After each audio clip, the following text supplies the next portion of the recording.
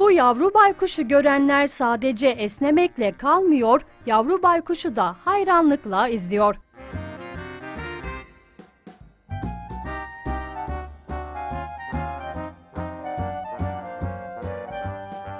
İngiltere'nin Rotterdam